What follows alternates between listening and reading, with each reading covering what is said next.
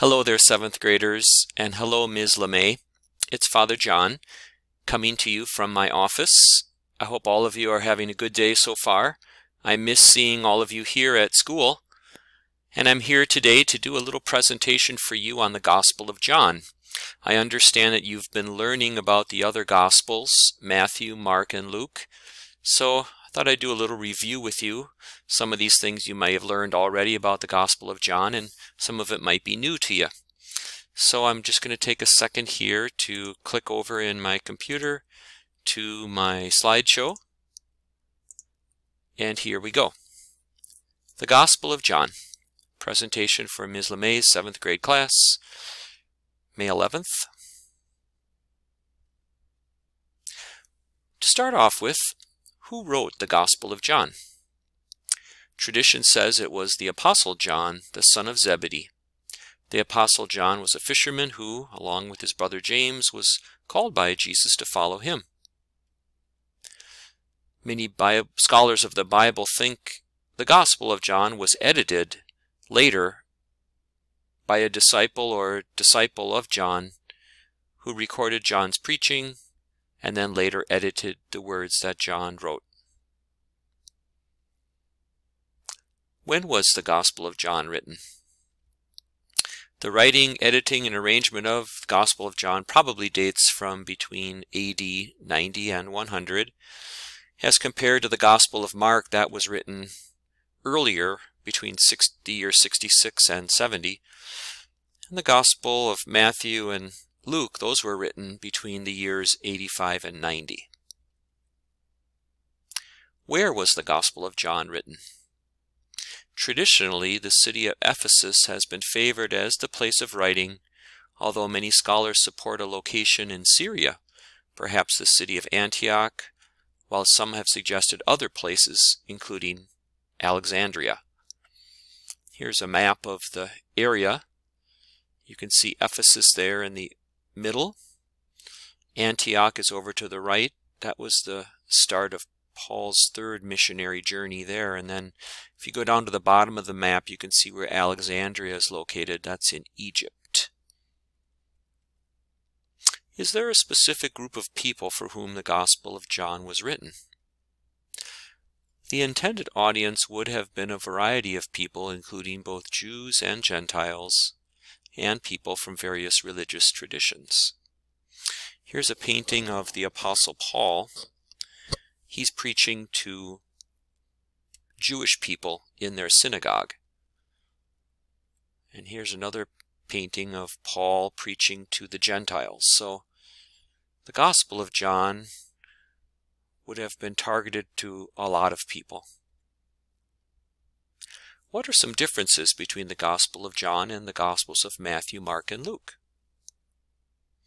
Well, to start with, the Gospel of John has a prologue in chapter 1, which is very different from the other three Gospels. The Gospel of John begins with a magnificent prologue, the first 18 verses. It starts off, In the beginning was the Word, and the Word was with God, and the Word was God. He was in the beginning with God. All things came into being through him, and without him not one thing came into being. So there's a lot of themes that you'll hear in those first 18 verses. Another difference is that there are no parables in the Gospel of John, whereas there are nine parables in the Gospel of Mark, such as the parable of the sower. There are 15 parables in the Gospel of Matthew, such as the parable of the hidden treasure. There are 24 parables in the Gospel of Luke, such as the parable of the Good Samaritan. Another unique part of the Gospel of John is that Jesus uses metaphors to talk about himself. Do you know what a metaphor is? It's a figure of speech in which a word or phrase is applied to an object or action.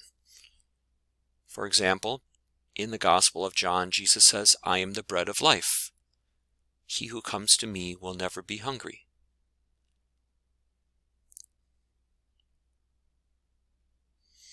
Another example Jesus says, I am the light of the world. Whoever follows me will never walk in darkness, but will have the light of life. Another example, Jesus says, I am the good shepherd. The good shepherd lays down his life for the sheep.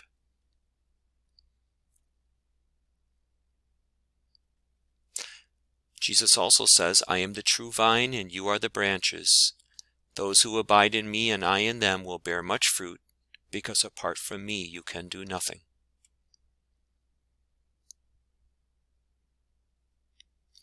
Another difference between the Gospel of John and the Gospels of Matthew, Mark, and Luke. There are seven signs in John's Gospel. Now Jesus did many other signs in the presence of his disciples that are not written in this book, but these are written that you may come to believe that Jesus is the Messiah, the Son of God, and that through this belief you may have life in his name.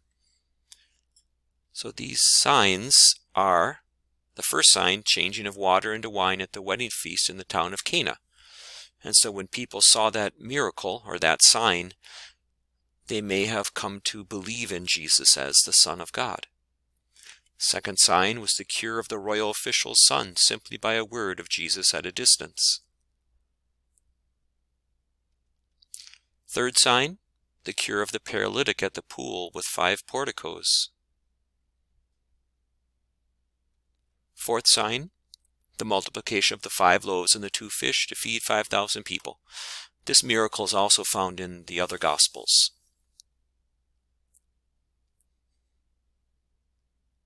The fifth sign is Jesus walks on the waters of the Sea of Galilee, and that's also in the Gospels of Matthew and Mark. The sixth sign, the healing of the man who was born blind. And the seventh sign was what they call the greatest of Jesus' signs, the raising of Lazarus from the dead.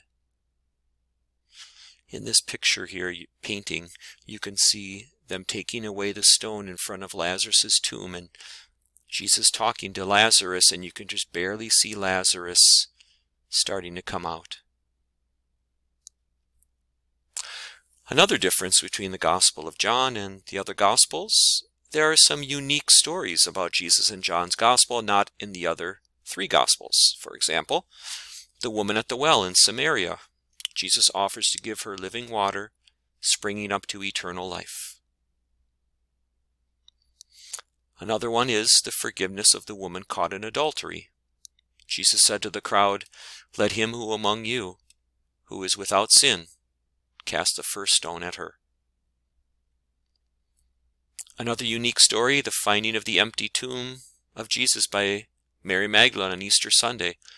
And later that morning, Mary Magdalene is the first disciple to see and talk with the risen Jesus. Another one is this only appears in John's Gospel. It's when John and Peter run to the tomb and find it empty on Easter Sunday.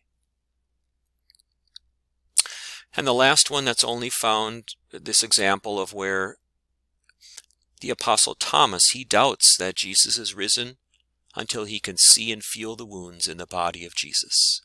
So in this painting here, you see Thomas putting his finger into the side of the wound of Jesus.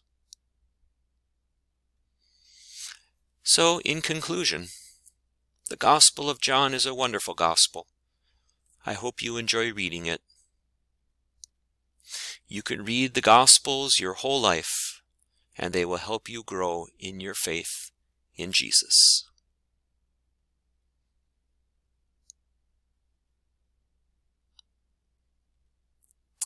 The end. So, seventh graders, I hope you enjoyed that presentation on the Gospel of John. Keep up your good work. I know you're all working and learning a lot of things right now. And have a wonderful day. God bless you.